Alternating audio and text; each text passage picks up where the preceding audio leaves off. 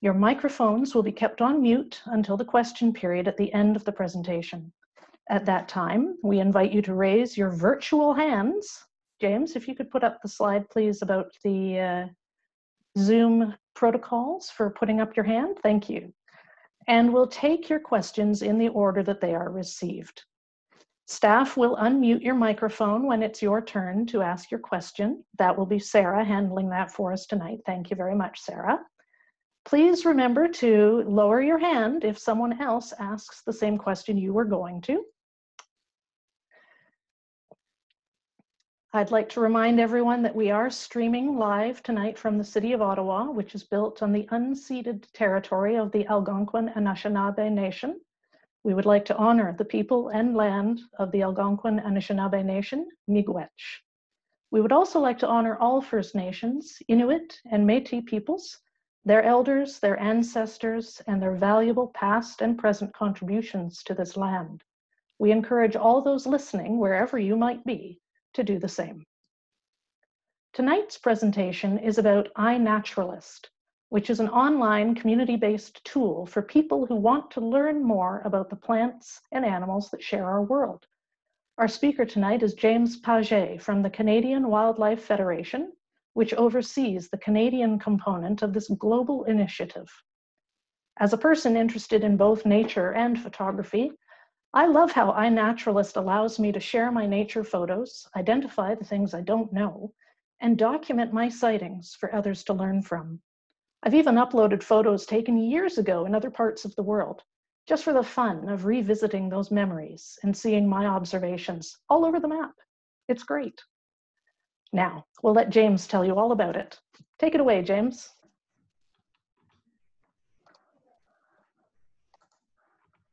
Great. Uh, thanks, Amy. Um, you can hear me all right. Uh, nod be good. Awesome. Just making sure. You never know. Um, so yeah, uh, as, as Amy mentioned, I'm with Canadian Wildlife Federation, James Pagé. Um, CWF, as I'm going to call it, Canadian Wildlife Federation. Uh, we've been the lead in the creation of iNaturalist in Canada, so iNaturalist Canada, uh, with a lot of help from partners like the Royal Ontario Museum, Parks Canada, and NatureServe Canada. So um, we, sorry, I'm just trying to get my view set up here so I can see everything. Um, so I'm going to talk about what iNaturalist is. Uh, Amy had a great intro on on how she uses it and how uh, it can be used and connecting with nature and revisiting what you've seen in the past as well.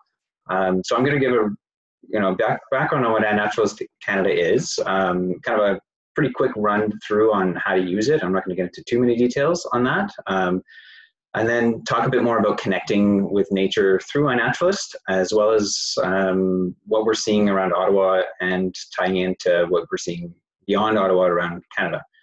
Um, there may be a few people here who are uh, pretty familiar with iNaturalist already, so uh, apologies if it's a little bit redundant for those of you who, who know it well, but um, uh, I, am I'm sure parts of this will be uh, some repetition, but I'm hopefully enlighten you on a few few new things that you don't know maybe.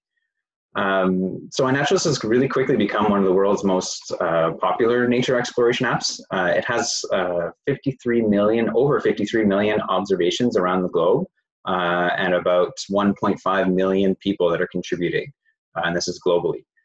Um, without me getting to a whole lot of details on exactly everything. We put together a video um, to explain what iNaturalist is and give a real a better feel than what I could just explain to you this way. So I'm going to play this, and uh, you can hear me talking about it in the video anyway.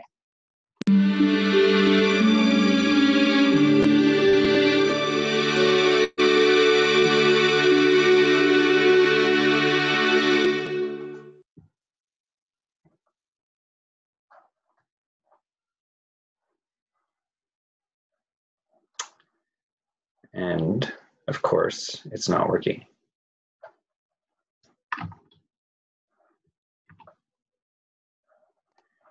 Even though, of course, yeah. we tested it beforehand. We just tested it. Yeah, it was all smooth when we didn't have, uh, you know, 50 people, I guess, listening with other videos going. Okay, and now my presentation's frozen as well, so that's great.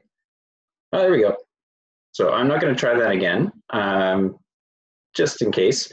And and um, I'll just talk about it. I think you'll get the same sense from as we talk through this anyway. So um, I encourage you, you can check this out. here's a good plug. You can go to inaturalist.ca um, and within the help section, actually, you can see this same video and it'll kind of give you the same sense. And there's a couple other help videos we've got in there to run you through um, some of the more specifics that we that I won't be talking about right now.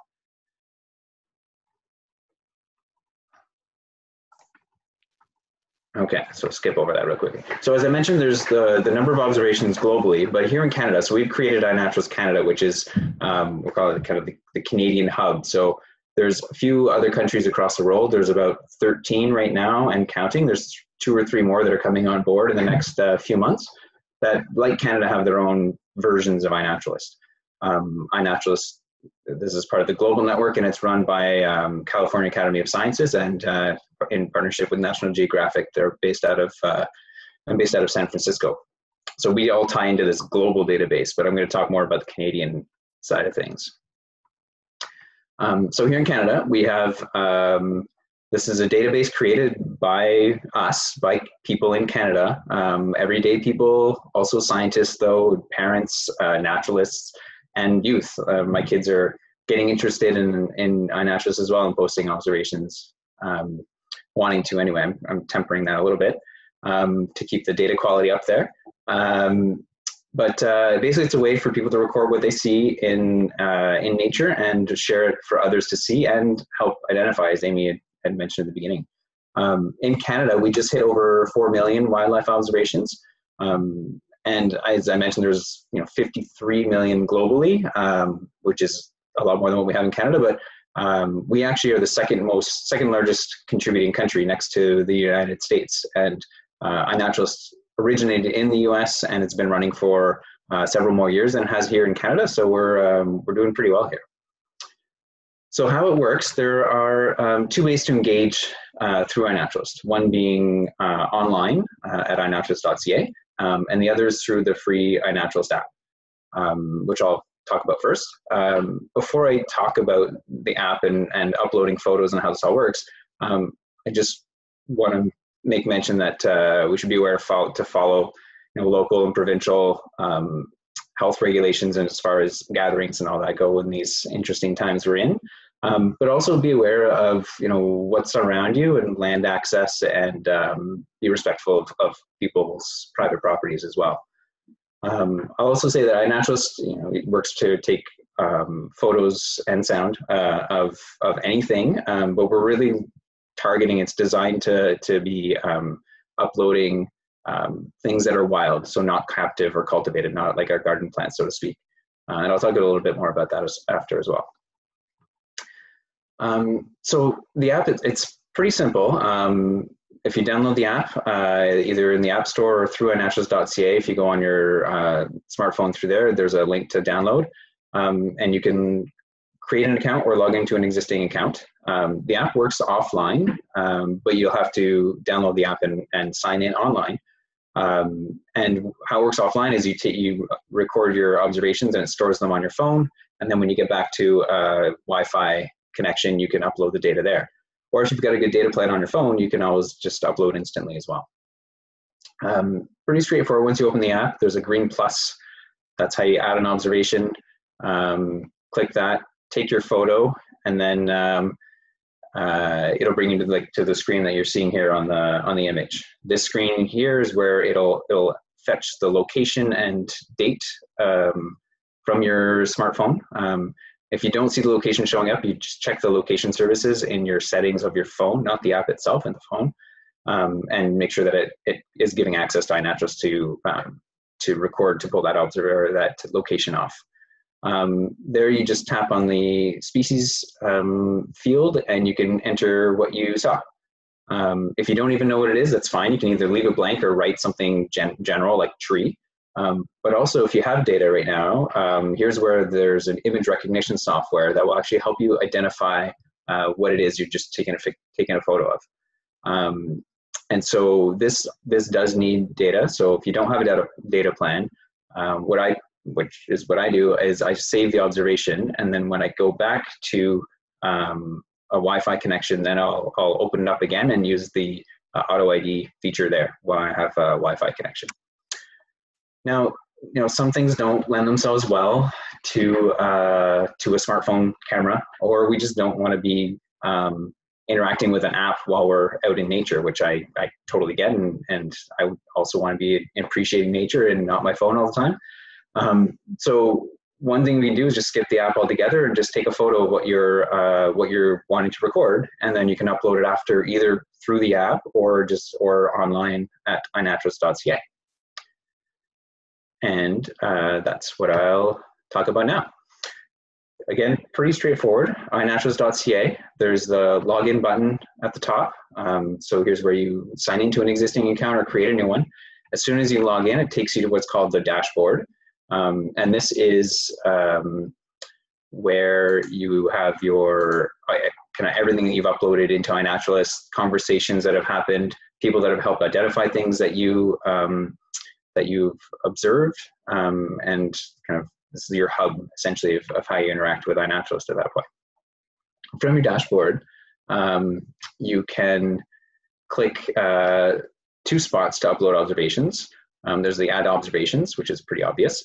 Um, but there's also the green upload button and along the top bar. And this top bar shows up anywhere on iNaturalist.ca, so you can click that at any point to upload uh, uh, observations or a photo or sound that you've, that you've recorded already. That brings you to a page looking like this. And once you bring your photos in, they uh, appear as what we call species cards. Um, on this card is where you enter the information of what you saw. Um, now remember, as I mentioned, if you have um, your location services enabled on your smartphone, um, you'll be able to, uh, there the, the system will actually pull in that location already from, uh, from the photo properties. So you won't have to enter that again. If it's not there, you can either enter it yourself um, and as well as, as write the date in. Um, but the date again should also be pulled in automatically. Um, some digital cameras also have built-in GPSs, uh, so it would also pull it in. Um, or and some can you can sync up to your uh, camera and it'll get the GPS location off of your from your sorry from your cell phone, and it'll get your GPS location from your cell phone and it'll pull this in as well. Um, if it doesn't have those, you just kind of have to remember where you were. Um, and within a range, you can actually put an accuracy level of how close you think you were to actually where where your observation was taken. Um, and from here, again, when you click on the species name, um, our image recognition software works. It's the same software as in the app as well as um, online. Um, and I should say this is this is really good. So if you haven't tried this out, you you really should give it a try.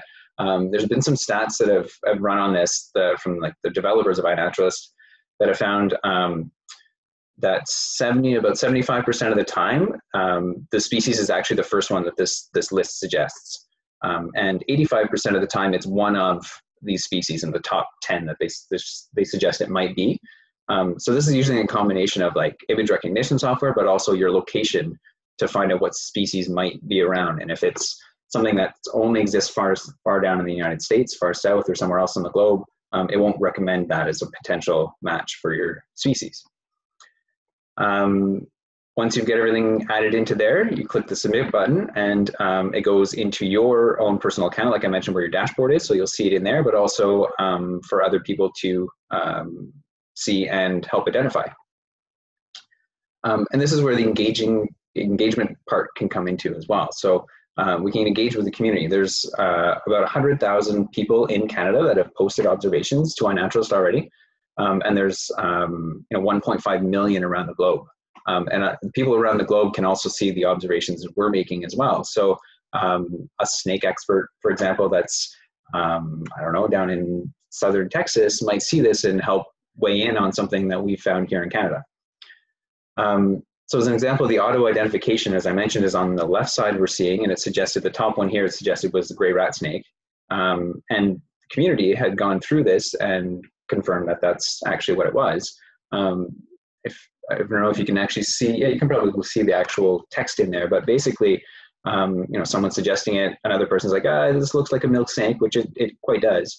Um, and and the, the the strength in this is the the experts or people who know who know like specifically you know snakes or whatever uh, species they're um, commenting on can explain why they think it's this way. And if, in one of these, it explains like, oh, it's a it's a rat snake versus a milk snake because of you know these features that you should look at. So not only is it helping identify, it's helping teach these people um, or teach us as users, because I don't know a lot of species as well, um, that you know how to help identify for the next time. And this is exactly what happened with uh, an observation here that happened uh, this summer in Quebec. Uh, a iNaturalist user who is uh, a, quite knows their birds quite well um, walked by this elm leaf and thought, well, this is an interesting kind of cut pattern in the leaf. It's distinctive. Had no idea what it was. Took a photo and put it on iNaturalist. They had no idea. This caught the attention of uh, an entomologist who was browsing iNaturalist observations.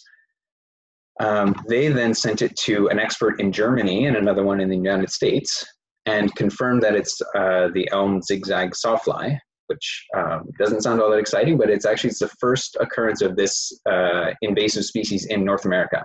Um, that a person in Quebec happened to be walking by an elm tree uh, and found this. This uh, then spurred some other people in the region to say, "Oh, this is really cool. We're going to keep an eye out for it as well." And they found a few more spots um, showing up of the same um, of the same species in in this area. So um, through one observation, where a few other people have started looking, this thing caught the attention of uh, CFIA, which is a Canadian Food Inspection Agency, uh, and they track uh, invasive plant pests. They were interested and sent somebody out to the site itself and partnering with um, Canadian Forest Services, and they they did a survey and actually collected larvae and confirmed they have now a specimen. Um, and just very super thankful. And actually, I've, I've been working with uh, CFIA now um, to help flag these observations to them so we can get a handle on um, some of these early detection, it's called, for, for invasive species, because it's much easier to address a species before it comes fully established and to make sure it doesn't spread than it is to try and deal with it after the fact. So this is one uh, real strength that uh, shows how the, the data and this information can be used even when the person had no idea what they were uh, taking a picture of. Something similar happened back in 2018, uh, the European firebug. Um, this was known in North America before, but hadn't been ever recorded in Canada. Similar kind of conversation, back and forth, confirmed the species, and yes, it's the first. It was the first occurrence in in Canada. This was in southern Ontario, and uh, a few more have been found since. Um, similarly, this one's non-invasive, but uh, a crayfish um, that uh, wasn't known to be in Canada before was found uh, as a result of somebody um, taking photos of uh, uploading photos into iNaturalist. Um, so that's connecting with community. Um, now, how do you know how are we using this to connect with nature? And I'm not an advocate for um, burying our face in a cell phone. I much prefer to appreciate nature itself. So you know, how does that fit in together? Um, well, you know, especially now with, um, especially earlier on with isolation and people were, were confining a little bit more, um, we've been having potentially an opportunity to, to kind of notice what's outside our windows um, and around our, our homes. So um, we can look for nature around or, and within our home. Um, now this photo isn't really all that useful, uh, and I'm going to talk a bit more about that for iNaturalist. Um, it's much better to try and get something with zoom to get a photo of, of a bird actually visiting the feeder as opposed to something uh, zoomed way out.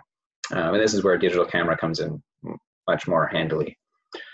Um, we can. These are these are butterflies that have visited my window from uh, that I've taken photos of from inside my house, um, and probably a lot of people don't want to know how many uh, crawling things live inside our homes but uh, you may be curious to find out what uh, what's around. And I'm sure this to be a great uh, great activity with the kids, a little scavenger hunt to go down into your basement and see what you can find. Um, you can venture outside, and you know things are um, cooling off, so there's a few less uh, species flying around. Um, but you can check uh, around on your garden plants uh, or your balcony plants or in your gardens. Um, there's still going to be you know, a number of um, species coming around, and with our feeders as well. Um, and then if you're, as it's safe to do, uh, as we leave our homes a little bit further uh, abroad on these nice quiet family walks, you can uh, keep an eye out and um, instead of, of you know, being completely into the your cell phone, you can always just, like I was mentioning, take a photo and upload it later to iNaturalist. Um, so what you know what to look for when we're out on walks, and this is a great thing with kids to do as well, is to look under logs or rocks. Um, one thing I'll mention with this though is always make sure you do it carefully because you don't want to hurt whatever it is you're flipping the rock over to look for, um, and always put it gently back um, because we don't want to leave habitat removed. We want to keep that as a spot for for wildlife to be in. Um, and something that's going to be a lot more relevant in the next weeks and months um, you can also upload tracks to iNaturalist. Um, image recognition software is not great on tracks, um, and that's just because there aren't a lot of photos to tr basically train the software um, uh, on photos that are uh, in iNaturalist, so that we just don't have as much um, as many images of tracks. So the more we can get in there, the better it's going to get. Um, but it does work, and experts can identify uh, tracks quite well. Um, the other thing, as I mentioned, is uh, you can upload sound files as well to iNaturalist. So um, bird calls, um, and in the spring and summer, you can upload frog calls.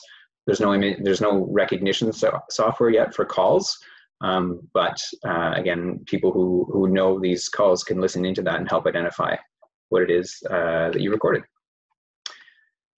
Um, so as I mentioned before, when we are thinking about recording things, um, this image of a tree isn't great, especially when you say, I swear there's a bird in there. Um, much better to get, use a zoom, something with a, a, a bit of a zoom to get a close-up photo. So in general, closer is better as much as we can. Um, granted, keep a, a, safe distance from wildlife. Um, similarly, uh, you know, this the, the distance photo from a, a shrub uh, doesn't help. So think about the key features, what we want to get at, what's going to help us identify this this plant. So um, fruits or seeds, uh, leaves. When we're thinking about birds, you know, getting the color patterns, um, are any stripes on uh, frogs or other uh, amphibians. Just any any little thing that might set it apart from other other species. Um, I should also mention, I was mentioning tracks. Um, you can actually also upload, because iNaturalist is for like evidence of what you've seen, evidence of wildlife as well is, is included. So um, even scat, so animal poo does work and some people can identify uh, from a photo um, uh, wildlife uh, feces. And uh, we actually had a bear in our backyard a couple weeks ago, which I didn't know about until coming across the the droppings and uploaded that to iNaturalist. So that counts as a as an observation. There was definitely a bear through here. So uh, that does work. Um, and I'm going to talk about uh, what we're seeing around in wildlife. And I'm I'm not downtown, but I'm in Aylmer and Gatineau. So there's it's there's pretty uh, pretty urban area. So I'm going to talk about what we're seeing around as far as wildlife goes in in, in our cities and urban areas. Um, and we can as and amy actually mentioned this quite well like you can go back through and think about where you've been in the country and, and reminisce on some family vacations or hikes by going through old photos. Um, as long as you can remember where you saw uh, where you took these um, so that you can upload them to a spot on a map.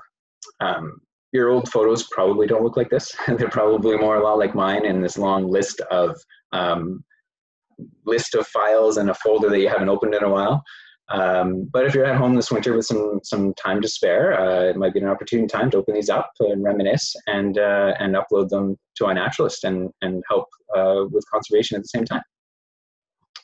Uh, the other thing, if uh, you're looking for something to do, is to help. Uh, as I talked about the community engagement, you can help others identify their their observations.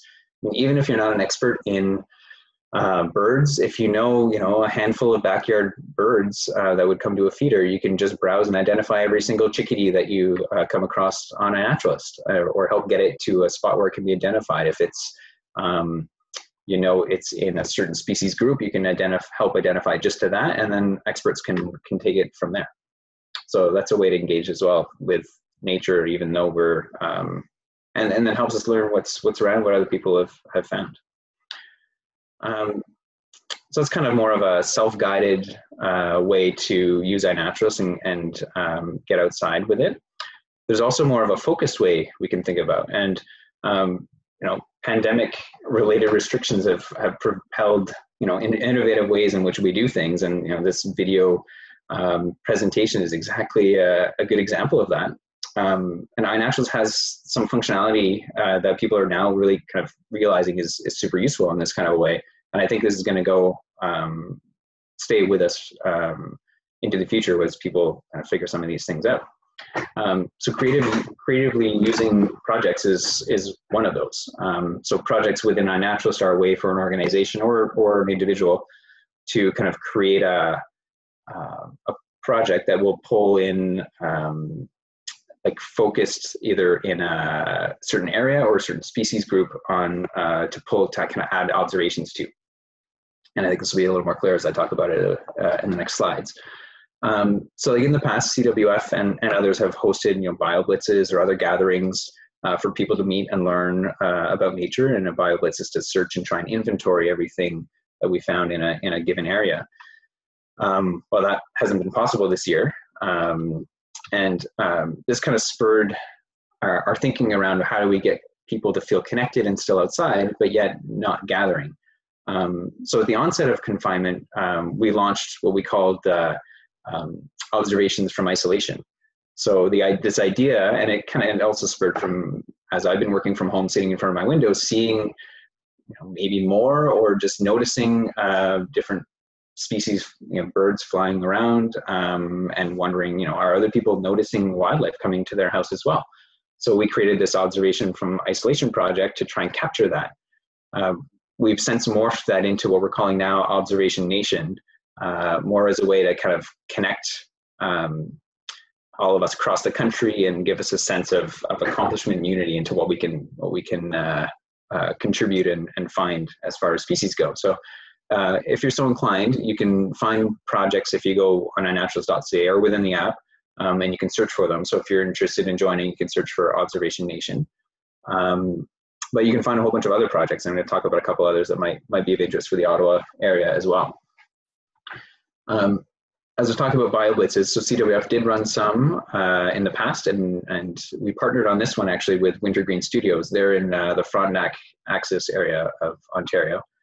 Um, and they originally were planning a, a, in-person BioBlitz, and obviously couldn't do that this, this past summer. So they converted this into, they call it like a choose your own adventure style BioBlitz. So um, it was two days of um, Zoom presentations uh, focused on like certain species uh, and, and, learning about either certain areas or species or um, um, aspects to conservation. And then there were also um, uh, pre-recorded videos that people could watch at any time, as well as some activities that could take place uh, kind of guided through Zoom or um, just some ideas that people could download and, and do on their own time. Um, but the BioBlitz aspect, which is tallying observations, instead of being on a focused property, uh, it was set so that anybody who joined this project, wherever they were in the country, could contribute. Um, and so uh, if you're in Vancouver or Halifax or anywhere in between, um, then you could uh, you could join and, and go wherever is is safe and you're comfortable to record observations and it all goes into this kind of um, single tally um, so that's one way that the projects can can help uh, unify people and, and contribute to something. Um, and um, we're kind of doing something like this, and there's this is going to be uh, relevant to Ottawa as well. So in the spring, um, which seems like a far way off, but we're already thinking about this. Um, there's this global uh, initiative called the City Nature Challenge. Um, so it's a global initiative. We've also have this Canadian initiative within it called City Nature Challenge Canada, where um, cities that are participating here, it's this friendly competition across the globe to see uh, which cities can engage the most people, can record the most observations and the most species in their area. Um, Canada, we're about we're a little bit uh, latitudinally challenged, uh, shall we say? So our winters uh, and the spring especially isn't a great time for a number of species. So that's why we've created this Canadian one specifically. So we're, we're kind of a bit more on a level playing field as far as what's going to be out and about in the spring. Um, so uh, it's basically participating cities across Canada and, and the globe. Um, basically, all, have, all people have to do to, to participate is if you're in one of those cities, use iNaturalist, upload an observation, and it automatically gets added into this project and then um, then we have this overarching project that's going to compare cities. Uh, and right now there's I don't know all of them off the top of my head, but there's Toronto, there's uh, Halifax, Calgary, Edmonton, a couple of municipalities in Vancouver. Um, we're looking at potentially uh, Yellowknife up north, which are going to have a real challenge. Um, so anyway, it's a way there for us to all kind of connect at the same time in the spring, right when everybody's probably itching to get outside in some nice weather anyway. So keep an eye out for that uh, come uh, next April. Um, and also around Ottawa, and this um, aren't ones that CWF is involved in necessarily, but there I think there might be interesting projects for folks around. Um, there's the Ontario Butterfly Atlas if people want to join. It's tallying all the butterflies um, that could be then used for mapping and uh, and butterfly distributions in Ontario.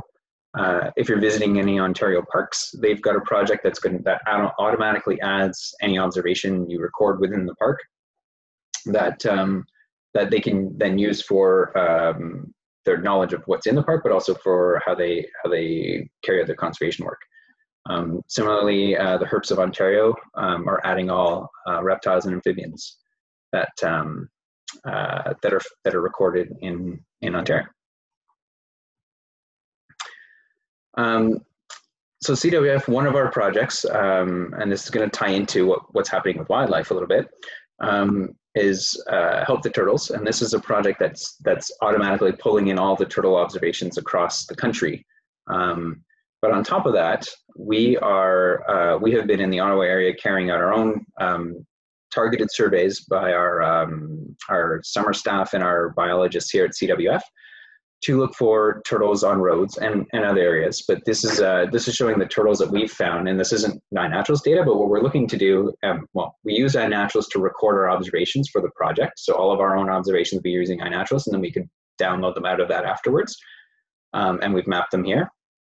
But we're also looking to use the observations that other people have submitted to iNaturalist and use some other GIS and mapping software to find out which ones of those are also on roads to add to our own um, inventory work.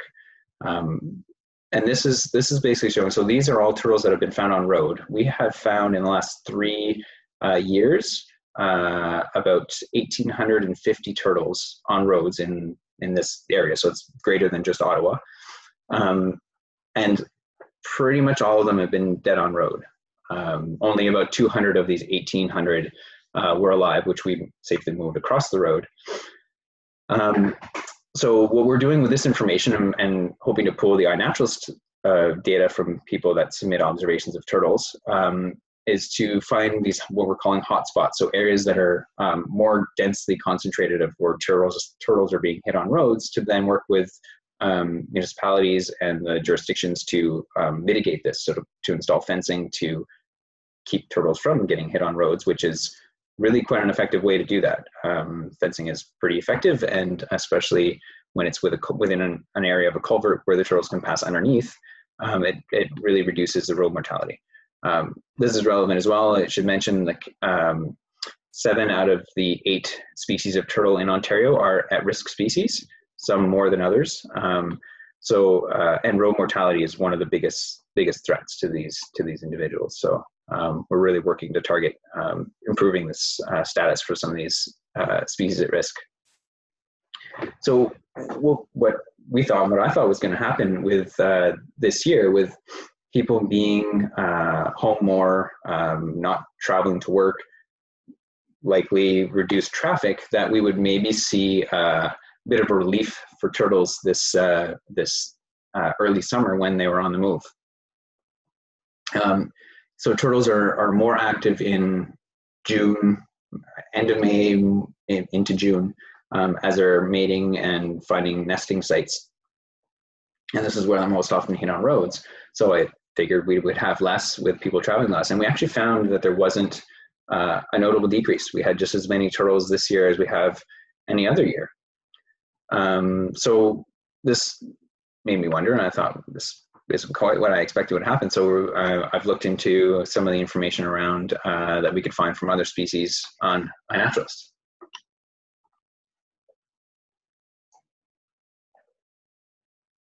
So, um, so here's the here's this the the distribution or the the points. All of these are a single observation on iNaturalist in the Ottawa area. And apologies for those in Gatineau. Uh, I didn't, I had to cut the boundary a little bit, and I, so it doesn't all uh, include all the observations in Gatineau. Um, so, uh, so I was wondering, is this, you know, this phenomenon we're thinking, we've heard lots of reports about um, increase in wildlife and people are seeing uh, more um, the presence in our cities and uh, so begs the question, you know, are, are, there actually, is there more wildlife around or is it just that we're around in our homes and uh, have the time or taking the time to notice what's coming by? Uh, and I suspect it's a bit of both. Um, and that's kind of what what it's seeming to be.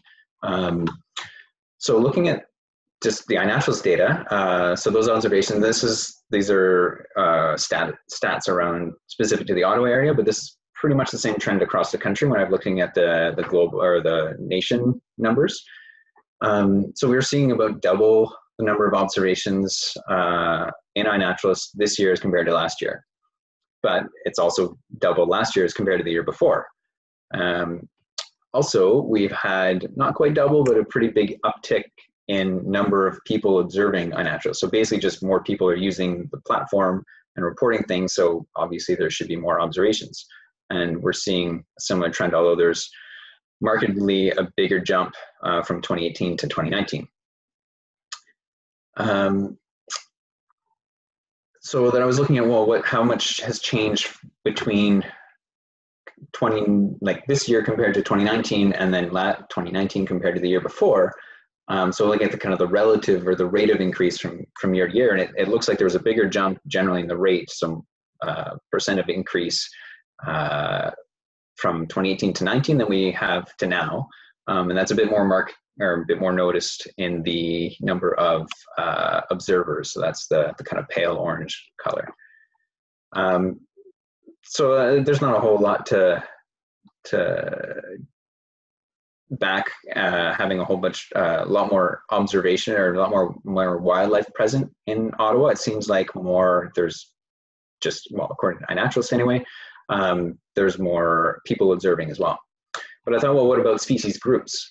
So are people seeing more of things that might pass by our house than we would other things? Um, and so we're seeing, so this is the, this is not rate, but this is the increase of observations, not the number. So it's like uh, from this year compared to last year um, in orange and last year compared to the year before in the blue. Um, so again, as I mentioned, we've had more people on iNaturalist. We should see more observations, uh, a bigger jump. Um, and we're seeing the biggest one in plants and insects, but relatively, um, we're seeing uh, almost doubling of an increase in bird reports as well as mammals, although in, in all there's less because there's just less mammals around than people are seeing plants and insects. Um, but the increase is almost double for, for birds and, and mammals from the year before. Um, and interestingly, amphibians and reptiles are, there's still more altogether on iNaturalist, but the, the, the increase from the previous year is actually not quite as noticeable this year as it was to last. So then I was wondering, well, okay, is it maybe that um, the species that are more venturing into town are the ones that people are seeing more? So mammals are more mobile; they be maybe passing by our houses, birds as well. Um, but maybe amphibians and reptiles, not everybody has the habitat for amphibians and reptiles in their backyard. Um, often they're wetlands, so maybe people aren't venturing out to these uh, wetlands to go record um, amphibians and reptiles so I looked at kind of the spread of observations and I didn't run any like um, mapping stats to see if there's a specific patterning. Um, this is more just visually, but um, this is 2019 and the number of observations across the Ottawa Gatineau area. And I thought, well, with 2020 and people maybe not venturing as far, maybe we'd see more clustering of observations. So to na specific neighborhoods as opposed to this widespread and maybe less in some of the more remote areas or some of the, the more publicly accessible areas like Gatineau Park, maybe people aren't traveling up into the park quite as much, or the Greenbelt area, maybe not quite so much. Um, but in 2020, it doesn't really seem to be.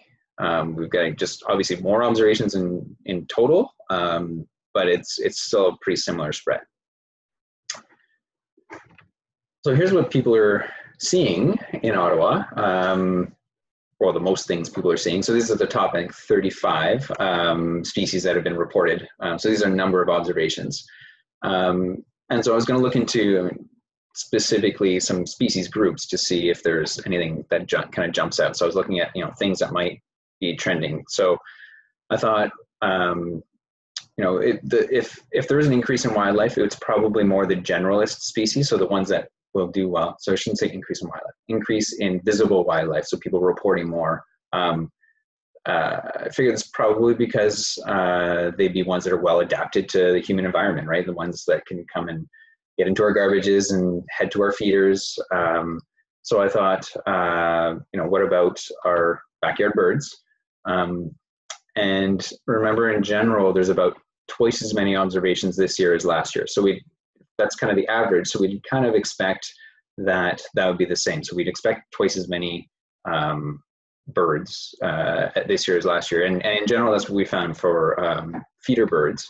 Uh, except cardinals, we there are actually three times more uh, observations of cardinals this year as compared to last year.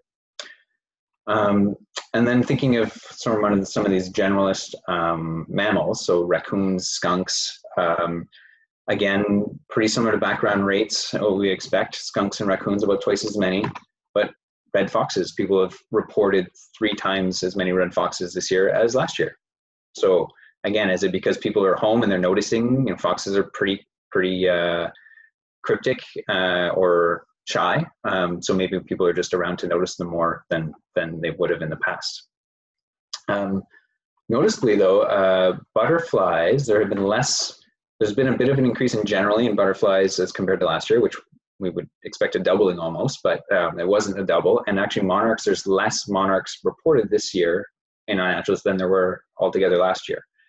Um, and when I say last year, I was measuring from like the beginning of the year up till basically November as well last year. So I didn't include the, so I had the same kind of time periods for both years. Um, and I feel like I'd be remiss if I didn't mention coyotes when we're talking about City of Ottawa stuff. Um, but uh, we've had, there are about twice as many coyotes reported this year as compared to last year in Ottawa, um, 41 in total.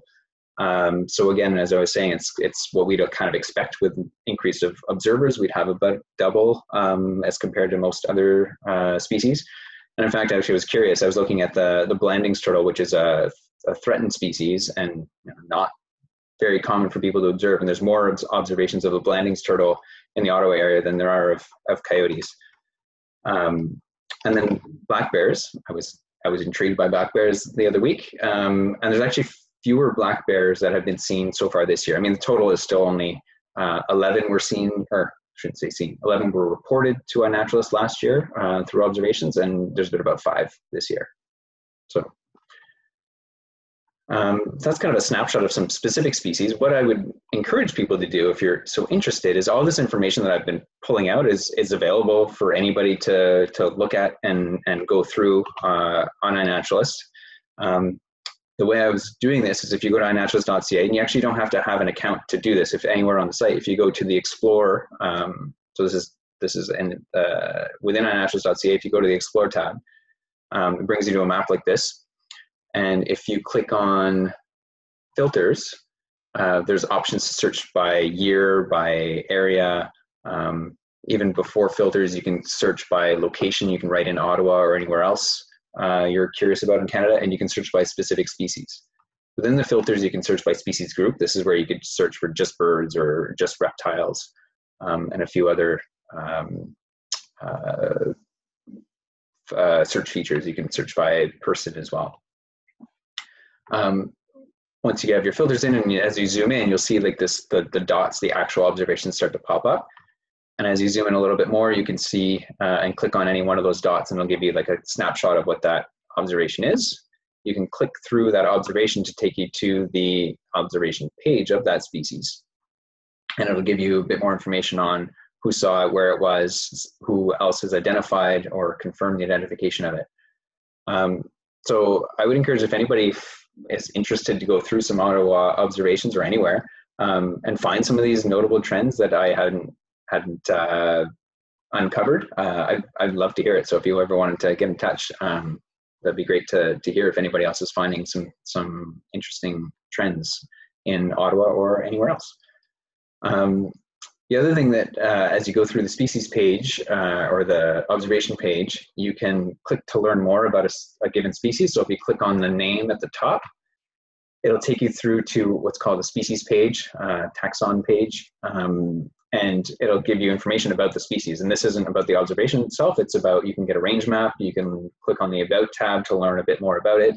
And one thing I find was really interesting is it'll show you the um, what's called the seasonality that you see in this little graph is when people are observing it most throughout the year.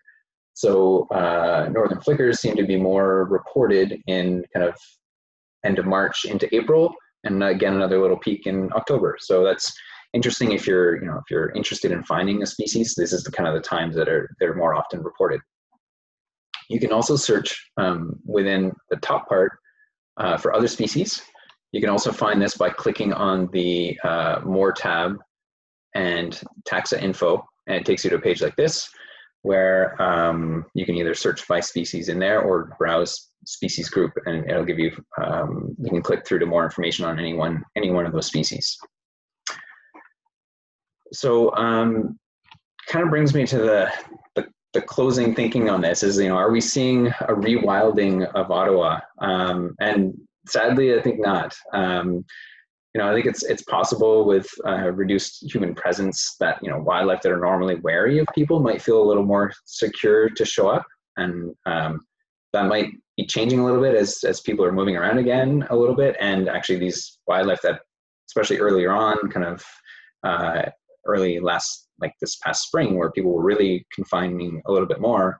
Um, now these wildlife are maybe kind of caught thinking like they're they were in the clear a little bit less people around and, and now are kind of being surprised again by people showing up again um, so i think it's more likely that species are that are kind of already around are just more visible um, and you know we could see some small and small scale and short-term benefits um, like i thought might happen with turtles uh, but we didn't see this with our turtle project but uh, i mean there's definitely a decreased human presence so um, it kind of gives give, gives wildlife a little bit of a breathing room for for a little bit of time.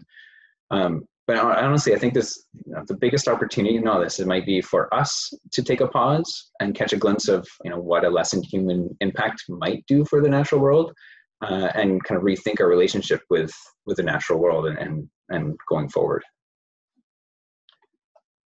So with that, I'd just like to acknowledge the partners in creation and managing of iNaturalist uh, Canada and uh, turn it over to any questions or thoughts people might have.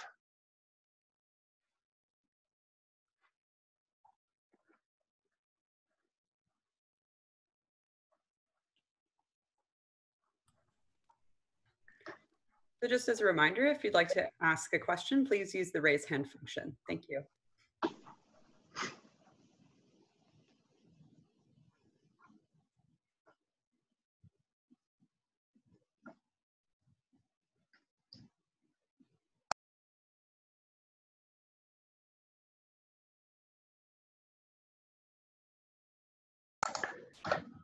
either I've covered everything really well or nobody understood or people don't want to uh, jump on on their, their camera. you can keep your camera off if you want, if you don't want to uh, have yourself on video. So we do have a question. Uh, so the first question is going to come from Lynn Nguyen.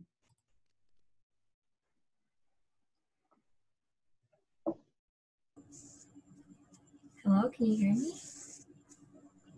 Yeah. Uh, thank you for the presentation.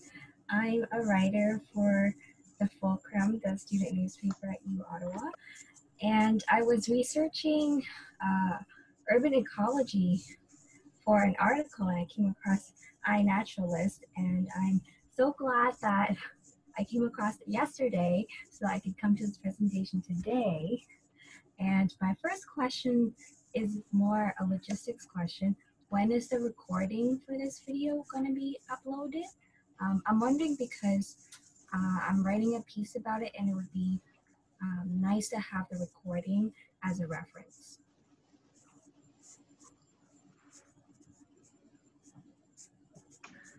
I'll leave that for City of Ottawa folks, I think they'll be putting it up, right? Uh, That is certainly the intention. I don't have a firm timeline on that, I'm afraid, at this point. Um, Sarah, maybe we can talk later about uh, ways to make it available, if possible. Um, In the interim, if it's going to take us a little while to get it up on YouTube. Sounds good. Thank you. Uh, the next question is going to come from Jose.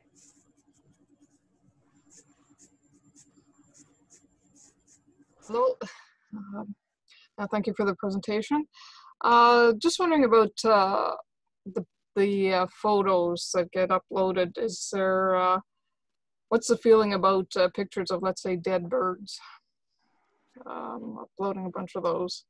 I come across a number as, uh, since I patrol for Safe Wings uh, with the bird collisions. uh, Are you not interested in those or would you be interested in those?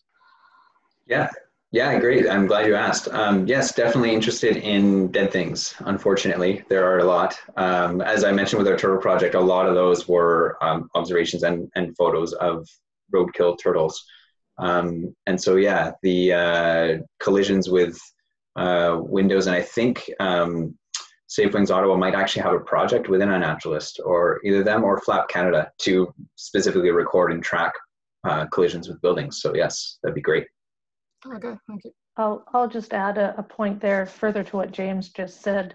Uh, mortality data, while often depressing, is um, extremely valuable. As, as James pointed out, for you know identifying areas where we do have high mortality, whether it's from roads or from buildings, um, it's useful information to know. And if it, it does help us to form a better idea of where there are problems and you know there may actually be things we can do to, to make it better so without that data uh, there's no real evidence to support the need to make change happen so it, it's definitely valuable to know where these things are happening Thank you. The next question is going to come from Ellie.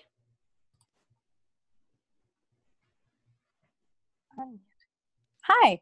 Um, I had a question and was just wondering, James, uh, after your awesome presentation, if you could clarify um, some of the location information. I was trying at one point to upload images and um, I can't remember what the word is, conceal or like obscure. That's the word.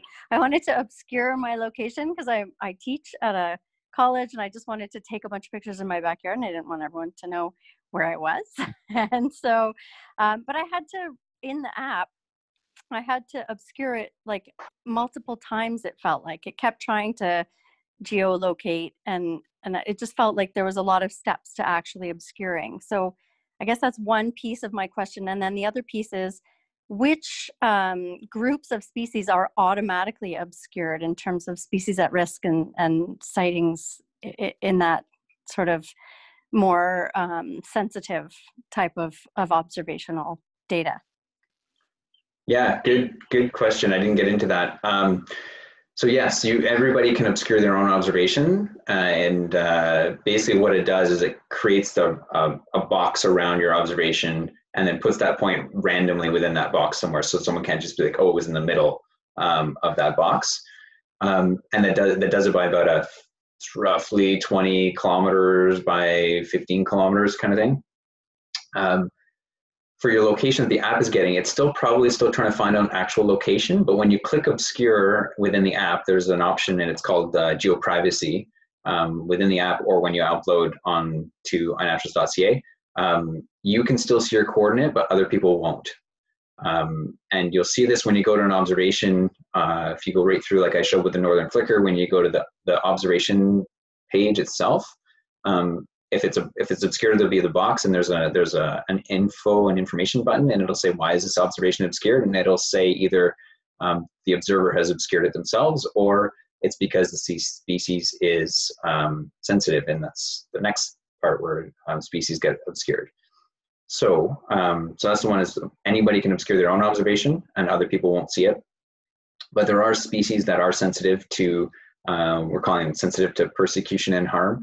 Um, so things that are collected for pet trade or uh, collected for resale, um, certain plants like that, uh, turtles, um, and certain species that are that are unfortunately persecuted, uh, those are automatically hidden uh, in uh, in iNaturalist. And the way it, it, does it, we're actually updating that hopefully in the next couple of months, um, which we're working with um, provincial uh, authorities, provincial experts um, that are in what are called the conservation data centers.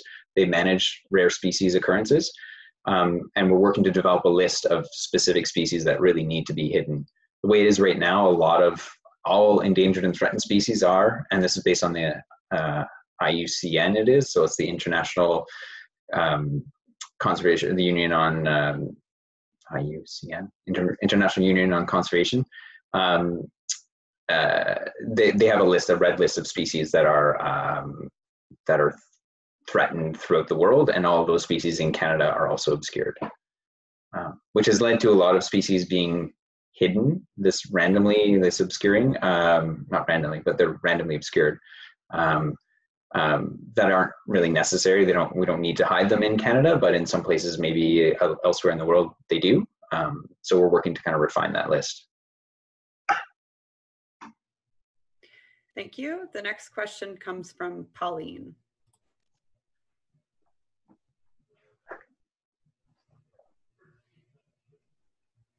Hi, uh, thanks for the presentation. Um, I would like to um, also add to uh, the first lady that um, asked a question was regarding uh, the presentation. Um, I unfortunately, my there was myself and um, another person who couldn't get in uh, the Zoom session, so we missed probably at least half of the presentation. I'm just wondering if um, perhaps you can let um, our uh, group leaders know um, when the uh, presentation will be uploaded to YouTube. I'm going to suggest that anyone who's interested in the recording, uh, we will be trying to get it up on YouTube as soon as we can. But if you're if you're particularly interested in it, maybe just email us at the um, the wildlife mailbox. The information and the link for that is on the city's wildlife speaker series page on the web. And if you just send us an email uh, and let us know of your interest, we'll respond back and let you know when it is posted.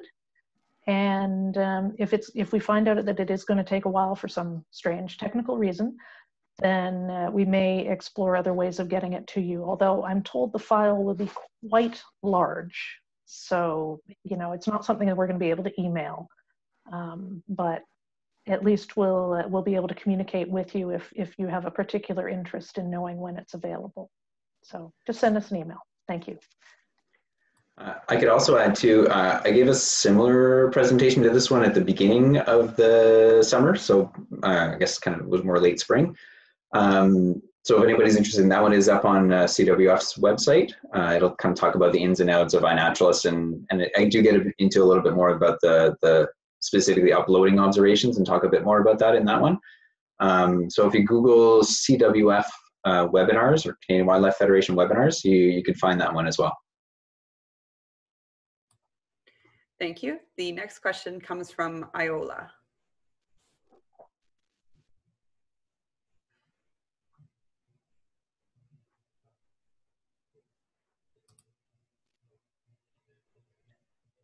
Did that work? That works. Hi, Iola. Hi, hi, Amy. Hi, James. Um, hi. Is there a way to upload old slides? Uh, hearing what Amy said about revisiting past um, past locations, uh, we've got boxes. I've got boxes of slides, um, some some of which have pictures of birds that I took in Africa, some in Europe, some in New Zealand. Um, I wouldn't mind uploading them. I'm not sure I can get good um, location data for them at this point, but I would upload them if it's possible to go from a 35 millimeter slide. Uh, I think your best bet might to take a, if it works, take a photo of your slide. Um, because otherwise, yeah, I don't. There's not really. It has to be digitized somehow. It's got to be digital uh, to get onto iNaturalist. Um, you can upload observations without photos. Um, that's doable. It just makes it uh, well impossible for other people to confirm what it is that you saw or what you're what you're reporting. So that data is a little harder to to be able to be as used for conservation, but you still can. There's, probably services out there to um, convert old formats into digital images. Because I'm sure there's lots of folks with the old slide collections and old hard copy photos Yeah. as well. Yeah. I mean, old hard copy photos, at least you could scan them if you had access to a scanner. I'm not sure how that would work with a slide. Thank you. The next question comes from Aisha. Hi there. Um, that presentation was awesome, and I was particularly interested in sort of seeing how the results were used. Um, so I'm interested in naturalists both from a, an observer perspective, um, but also I work for an agency that would be interested in, in using some of this data. Um, so one question that I had was photos that get uploaded from other people.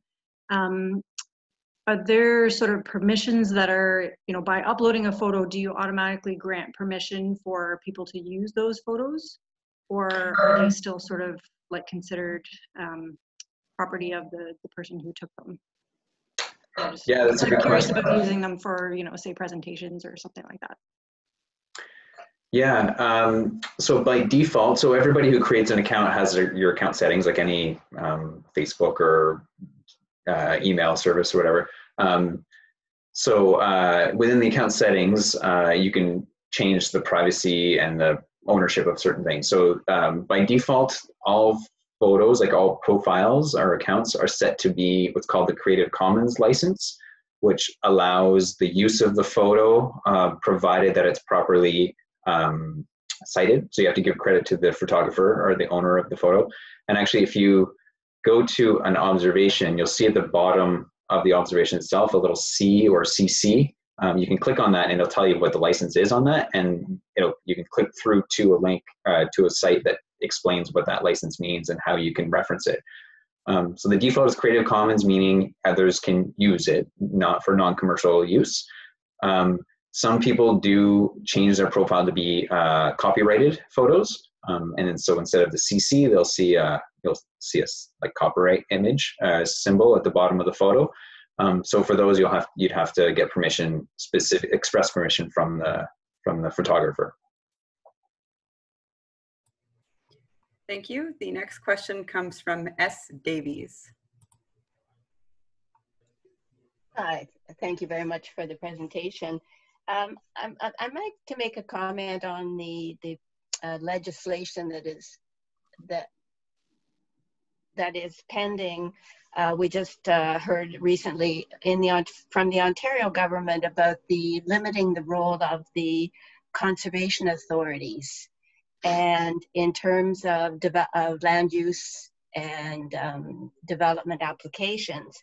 And I'm just curious as to what your thoughts are on what the link is between um, the limited, more limited role of conservation authorities in areas that are particularly in the watershed areas and where there are urban natural areas where you do have a large, in, a, a larger incidence, I would think, of natural uh, sightings and possibly a, a really important relationship between the Conservation Authority and iNaturalists and the other Parks Canada and others. But I'd just like to ask you what your views are of this pending legislation and um, what the impact might be. Um, I honestly haven't been following the what those specific changes would be. Um, I mean, as far as the the interface between iNatural's data goes and conservation authorities and and other organizations, that the the information is and or can be and is used for um, making certain decisions with respect to conservation. Um, so, I, like I know the city of Ottawa, for one, is using that for um, with respect to urban planning or development applications and, and other um, entities are using it for like screening a site maybe before development. Um, Parks Canada incorporates that into their way they um, manage uh, the conservation values of, of the park. So um, the data is freely available for those kinds of organizations to use. Um, with respect to the, you know, the, the, decrease in um, uh, capabilities or powers of the conservation authorities. I, you know, I, I don't know exactly the what that kind of impact that's going to have. I mean, anytime there is a step backwards or away from uh, what we see as an end goal for conservation is concerning, and I guess we'll have to we'll have to see how that plays out. Thank you. The next question comes from Lynn Nguyen. Hi there. I have a comment uh, for someone who asked about restoring old slides uh, of uh, pictures of wildlife that she took uh, long ago. There are services in Ottawa that offer this. Uh, one of them is Sooters, S O O T E R S, um, and they do restoration for film and slides um, and turn them to digital files in case uh, she's interested. That's great. Thank you for that. The next question comes from eod at ncf.ca. Yes, hi. I have an actual addition to the to the question related to how to digitize old slides and old photos.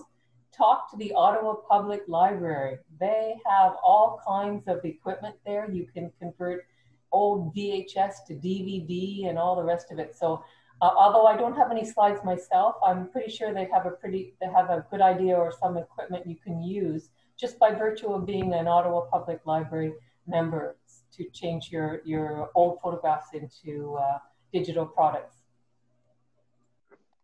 That's wonderful. Thank you very yeah. much for that tip. It's amazing yeah, what you can get good. done at the library. yeah, I'll keep both those in mind for future for the future talks because I, I I'm sure I'll get that question come up again. Well, it looks like we've run out of questions for the moment. I'm not seeing any more hands. Um, and it is 10 after 8. So I, I think, James, we, uh, we need to just sort of thank you again for your excellent presentation. I, I thank all of you online for joining us this evening. Uh, these are, you know, different times now, but it's great that we were able to still get together and carry on the wildlife speaker series in this different but uh, equally accessible format. I mean, uh, you know, it, it's it's kind of nice not having to go out into any kind of weather to go see a presentation in the evening. Um, you know, although tonight certainly wasn't a bad evening to be out. So, uh, James, you can expect to receive a small token of our appreciation in the mail. We did send it to your office location, so I hope periodically you are going in to check on that. Um, and for all of you folks online, we will be continuing the series next year, uh, whether it's digital or, or not, I'm not sure at this point. We will continue to be guided by public health, of course. Um, but certainly having the online option for people seems to be very popular. And so I think we'll try to keep that going. For those who are interested in local planning matters, uh, you may want to tune in to the city's Engage Ottawa website tomorrow. I believe we're going to be unveiling the draft official plan. So that's a bit of an exciting moment for those who are into, uh, you know, planning for this for the future of this city and certainly, you know, my team's been involved in that in trying to make sure that our natural areas continue to be protected, available, and that we have lots of available, accessible green space for people to get out and do their nature observing in. Uh, certainly, I think our takeaway from this year has been that people really do value being able to get out into green spaces, natural areas, parks, and we uh, we really do need to make sure that everybody has that option to get out there and enjoy those spaces safely outdoors. So thank you all very much for joining us this evening. James, thank you again. And I hope to see you all again in the spring. Uh, topic yet to be determined. Thank you. Thank you as well, everyone. And thanks, Amy and the City of Ottawa for uh, engaging with me and uh, giving me the opportunity. It was, this is good.